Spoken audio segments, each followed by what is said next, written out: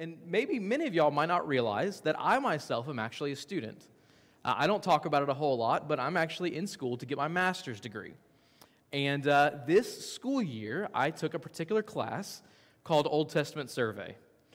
And in this particular class, uh, it's split up into two parts. So there's Old Testament Survey 1 in the fall and Old Testament Survey 2 in the spring. In Old Testament Survey 1, part of the course requirements was to write a 15 page research paper.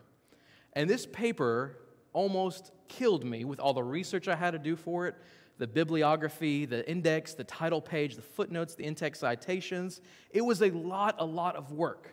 And when the spring semester rolled around, I figured that Old Testament Survey 2 was going to be very similar to Old Testament Survey 1. And I noticed in the syllabus that it did not describe a research paper, but in the course outlines week by week, it was there were several descriptions of at this point you need to be working on your paper. At this point you need to know about what you want to write about. At this point you need to be prepared for it. It needs to be a practical paper, something that you want to teach about, that you want to share with others that they can learn about. So I began the task of preparing this 15 page research paper. I put weeks and weeks of effort into it, countless hours. There were some days I even took vacation days out of my personal allotment of vacation days for the year to do research and writing for this paper. Um, towards the end of the semester, I emailed my teacher and I emailed him and asked him a question about particular parameters for this paper. Well, he didn't respond that day or the next day. So, or the next day after that. So I just, you know what, I'm just going to gun it and go for it. And instead of just, is it this or this, I'm just going to do my best to mold the two together. And so finally, I finished this paper, written over 16 pages, um, title page, index, in-text citations, footnotes, bibliography, the whole 10 yards. I'm in the process of finally like putting these final revisions on this paper. Um, correcting any typos or spelling mistakes. I want to make sure this paper is the best that I can possibly give it.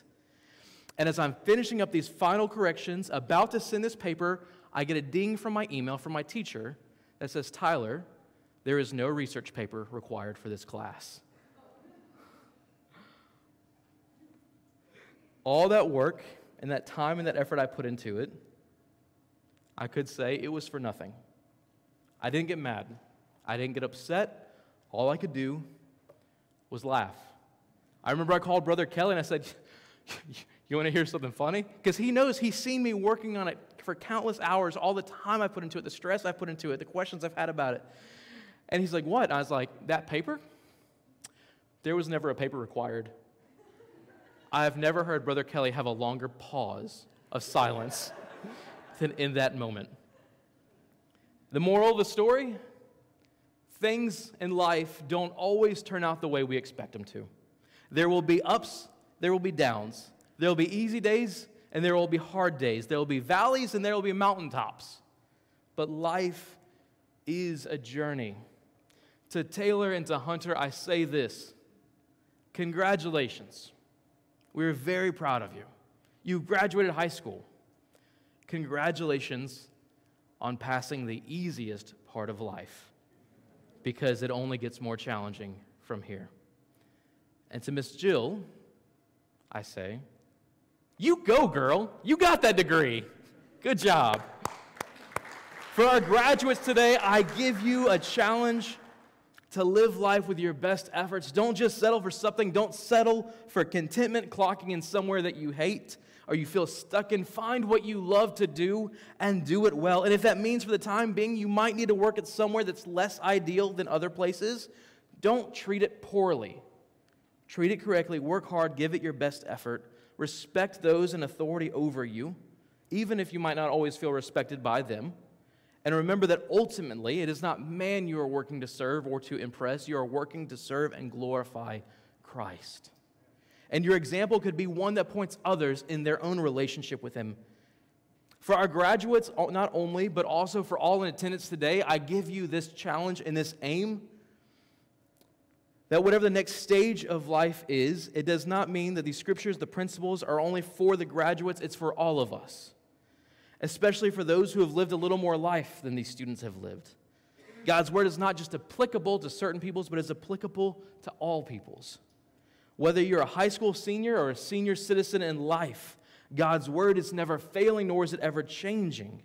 It is the power and majesty of being a divine revelation from God Himself. So if you hear this and you're thinking, oh, this is for just the students, no, this is for all of us today because God's word is for all peoples at all times, for all seasons, for all life.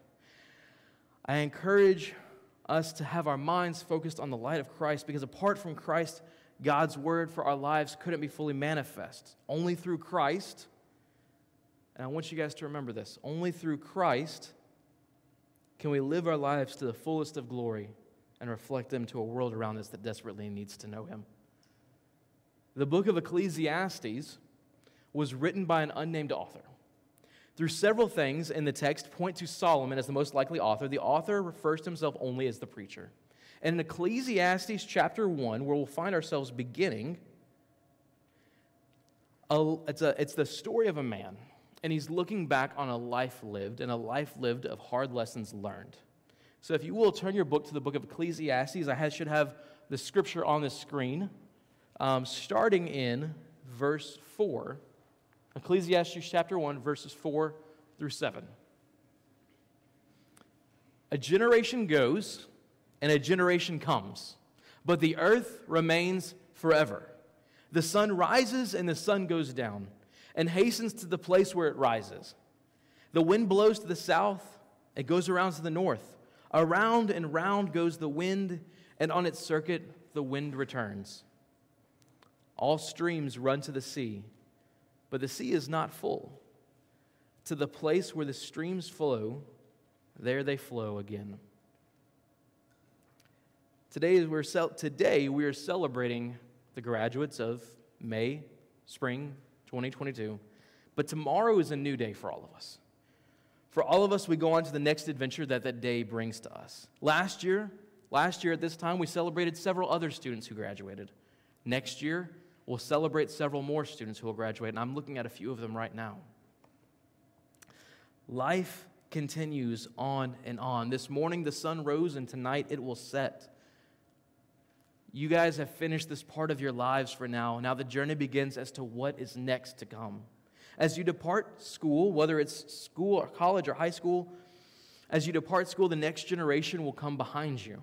And then one day another generation will come forward after that. Another generation after that. Life is a constant cycle chasing after goals and dreams. And I'm sure each of you had the same goal in mind. I said, I can't wait to finish school. I can't wait to graduate. I can't wait to go on to what is next always looking at the next big thing, but not really taking the time to enjoy each day and each season as it comes. That's what the writer says. He says, A generation comes, a generation goes, the earth remains forever. We are here in this time. 50 years ago, our grandparents were graduating high school or college. 50 years from now, our grandchildren will be graduating. It is a constant cycle of life. We are here today. We're here in this journey, in this moment. Tomorrow we'll be in a new adventure, and tomorrow after that will be after a new time life continues on. You see, the preacher wanted his audience to learn something that while they are young, that he didn't learn until he was, he wanted something for his audience to learn while they're young that he himself didn't get to learn until he was much older in life. No matter what you do, no matter how small or how grand, the sun will rise in the morning and the sun will set in the evening.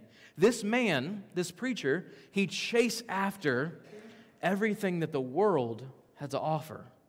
He had everything a person could want. He had more money, more property, more concubines, more servants, more property, more palaces, more gardens than anyone who possibly has ever lived in his lifetime or lived before him. Probably even more, even lived more, had more than anyone who's lived after his lifetime as well. But still, no matter what he had, no matter what wealth or treasures he had, nothing satisfied what he was seeking for. He kept going from the next big thing, and when the satisfaction left him for that, he went on to the next thing, and the next thing, and the next thing. Chapter 2, starting in verse 4, says, I made great works. I built houses. I planted vineyards for myself. I made myself gardens and parks and planted them all kinds of fruit trees. I made myself pools from which to water the forest of growing trees. I bought male and female slaves and had slaves who were born in my house. I also had great possessions of herds and flocks, more than anyone who had had before me in Jerusalem. I gathered water for my, I'm sorry, I gathered for myself silver and gold and treasures of kings and of provinces. I've got singers, both men and women, uh, many concubines, the delight of the sons of man. I became great and surpassed all who were before me in Jerusalem. Also, my wisdom remained with me, and whatever my eyes desired, I did not keep them from. I kept my heart from no pleasure, for my heart found pleasure in all my toil. And this was my reward for all my toil. Then I considered that all that my hands had done and the toil I had begun expending in it, and behold, it was all vanity and striving after wind, and there was nothing to be gained under the sun. He looks back on life and he looks back on everything he's done, everything he's accumulated, everything he's built up, all of his accomplishments, all the great feats, the wealth he had amassed, the treasures, the riches, everything anyone could want out of this world. And he realizes that nothing he has will last forever. Everything he has in this world will not even be able to take with him. Everything in this world is temporary. One day, he will be gone. Everything he worked for will be given away to somebody else that didn't work for it. He chased after everything that was temporary in this world, but he never connected his life with eternity. Pastor Tony Evans said one of my favorite quotes and my favorite illustrations. And he says, So many people today are living empty lives there was a man who once said he was dying to finish high school so he could go to college. Then he was dying to finish college so he could start his career. Then he was dying to get married and to start a family. Then he was dying for the kids to turn 18 so they could leave the house. I'm sure none of y'all felt that way. Then he was dying to retire. And then he was just dying. He never really got around to living because he never connected his temporal state with his earthly state. He never connected time with eternity. Time is a valuable and precious thing that many of us don't use wisely. I speak from plenty of experience. I believe the most common thing that we can look back on life and wish that we just had a little more of was time. If I could just go back and had more time, if I could just use my time better, if I could just have a little more time, back at that state championship during the fourth quarter.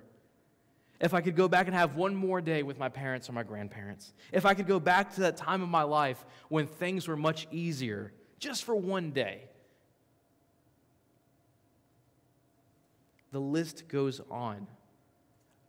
I know I get so stuck looking back in time, and I'm like, man, if I could just have one more day to go back to like 1999 and be a kid at my parents' house again, swimming in the pools all summer long and not having a care in the world.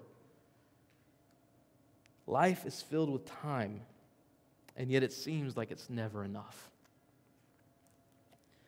The preacher says in chapter 3, one of the most, my bad, y'all, one of the most famous passages that gets read at graduation season in time. So we're going to read it again. My thing's cursed. For everything there is a season and a time for every matter under heaven, a time to be born and a time to die, a time to plant and a time to pluck up from what is planted, a time to kill, a time to heal, a time to break down and a time to build up, a time to weep and a time to laugh, a time to mourn and a time to dance A time to cast away stones and a time to gather stones, a time to embrace and a time to refrain from embracing, a time to seek and a time to lose, a time to keep and a time to cast away, a time to tear and a time to sew, a time to keep silence and a time to speak, a time for love and a time to hate, a time for war and a time for peace. There is a time for everything. But that doesn't mean that you need to spend all of your time rushing through time to get from one thing to the next. Two years ago, in 2020, the world shut down. And though there were many hardships, many struggles, many that were lost, two years ago, the world slowed down and we all got to breathe for a little bit. We weren't rushing around from one thing to the next. We weren't overloading our schedules and, and just bouncing back and forth. So, as far to the point that before we knew it, like everything was going a million miles an hour. Kids were at home. The family sat around the dinner table together. We got to make memories. We weren't always on the go, rushing back and forth. Life slowed down, and we got to enjoy each day just a little more. There were own difficulties, and though there were plenty of them, there was also plenty of beauty in there as well. It was a time unlike the world had ever seen before. And there was a time for everything, and everything will have its time. Graduates, brothers and sisters here today, whatever you choose to do with your time, whether it's time to go to college, to continue education, time to start your career, or time just to take a break to figure out what's next, I urge you to listen to these words. What gain has the worker from his toil? I have seen the business that God has given to the children of man to be busy with. He has made everything beautiful in its time. Also, He has put eternity into man's heart, yet so that he cannot find out what God has done from the beginning to the end. I perceive that there is nothing better for them to be joyful and to do good as long as they live. Also, that everyone should eat and drink and take pleasure in his toil, because this is God's gift to man. The writer says there is absolutely nothing before you. There's nothing before you than to be joyful, to do good, and take pleasure in whatever you do. If you can enjoy what you're doing, if you can take joy in your work, take joy in your schooling, take joy even in the difficult seasons and days in life, whatever it is, remember this world is temporary. This is not your home. Wherever you go, whatever you do, enjoy each day and each blessing that the Lord has given to you because it is a gift. Keep your eyes on Jesus. One day you will look back on life. You can either remember your life fondly for what the Lord did in your life or you can look back and just think about the struggles and the hardships that have taken along as the years passed. You have ahead of you a lifetime of choices, paths, roads, directions, adventures, opportunities. Some may be hard, some may be easy, some may be great rewards, and some may be filled with hard lessons learned. Make the most of each and every single opportunity. Each beautiful day that the Lord gives you, each day is an opportunity to do work that He has given to us as brothers and sisters in Christ. Each of your paths as individuals will be different, but as believers in Christ, we are all together called to one great task, one great calling, one great commission. Before Jesus left his disciples, he left them with a challenge, a calling, an opportunity if, if, if, if Jesus, if Jesus' death on the cross did anything in addition to allowing us who know him to be redeemed from our sins, to be forgiven, to look forward to an eternity with him, it also buys us time. He promises that one day he will return. And before he returns, from the time he left us to the time he returns, he has given us a great commission to pursue with the time he has bought for us on the cross. Matthew 28, 16 through 20 says, Now the eleven disciples went to Galilee, to the mountain to which Jesus had directed them. And when they saw him, they worshiped him, but some doubted. And Jesus came and said to them, All authority in heaven and on earth has been given to me. Go therefore and make disciples of all nations, baptizing them in the name of the Father and of the Son and the Holy Spirit, teaching them to observe all that I have commanded you. And behold, I am with you always to the end of the age. I realize that when we graduate high school or we graduate college, or maybe we hit a stride in our 30s or our 40s and we're trying to figure out what we're supposed to be doing next, or wanting to figure out what the next great adventure and opportunity is, whatever path and whatever direction your life takes you on, each one, has each one of us has a different journey. Each one has a different road that we travel. However, no matter which travel we go down, no matter which road we go on, or travel or journey we take, there is always one common factor for brothers and sisters in Christ, and that is to bring the gospel of Jesus Christ to the world. So, wherever you go, whether you go to college, you go to career, you go to be a teacher, you go to be whatever, whatever your heart desires, whatever you do, find joy in it. Know that it's a blessing from the Lord. Treat it as a blessing, and in all ways seek to make Jesus known to the world. If I could give any hint of a, any charge or any encouragement or any direction or any, any, any, any insight as to what we're, our purpose is, the Westminster Catechism says that the chief purpose of man is to glorify God and to enjoy Him forever. Bring glory to God and enjoy Him. That means that whatever God has given to us, whatever opportunities He presents to us, whatever things He's blessed us with, or challenges He's given to us to see us through so that He can be glorified through it, enjoy it and glorify God. Make the name of Jesus Christ known. Brother Kelly says it all the time. Excuse me, he says it all the time. Not only do we want to hear good news, we want to be good news and we want to send good news. The good news that the world needs to hear is that we have hope, and our hope is found in Jesus.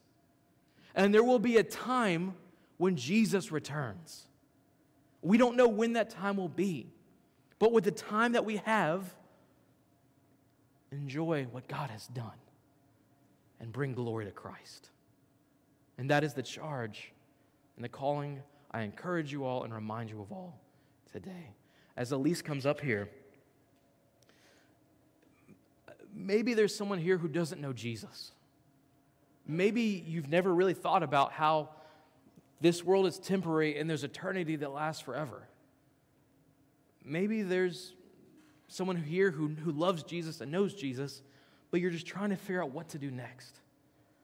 I don't know what each and every one of you has going on in their lives. Brother Kelly doesn't know what each and every one of you has going on in your lives. We're still trying to figure out life sometimes too. But I do know that our God is a really, really amazing and wonderful God who loves us. And He wants to spend a whole lot of time with us in eternity. And that should be something that we're really excited about. But there's a lot of people out there who don't know about that excitement. And they don't know that Jesus is waiting to give them an opportunity to spend eternity with Him.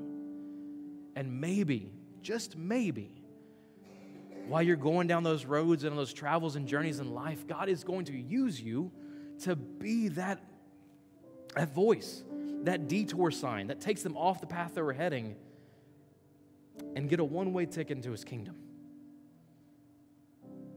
only comes through Jesus. Would you join me in prayer?